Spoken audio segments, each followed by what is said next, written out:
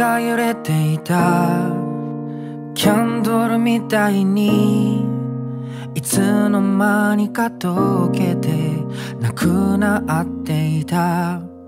12月24日会えないままでこの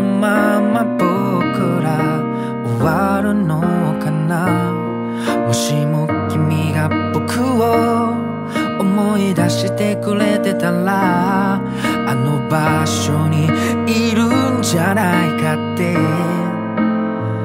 待っていたよ。君がいる街に僕もいるのにな。プレゼントを渡すにはバカみたいに遠い。君に送りたい。気持ちも届くはずのないクリスマスイブ。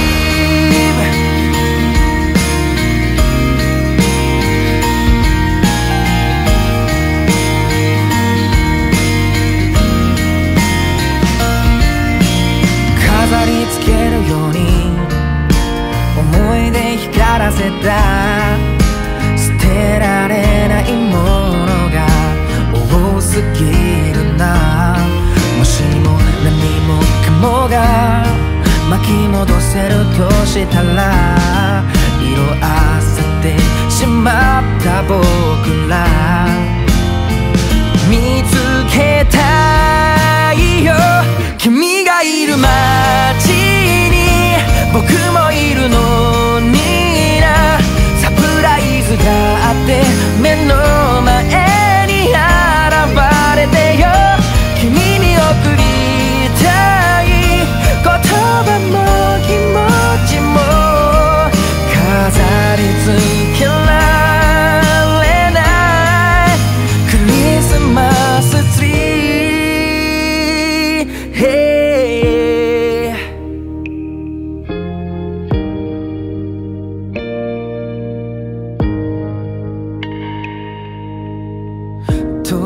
時計の針が0時に近づくほど心が揺れる。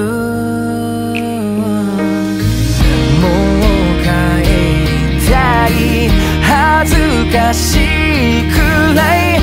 今も好きだっていいこと。それだけだよ。君がいる街に僕もいるのにな。傘の下一人。雪を見つめていたよ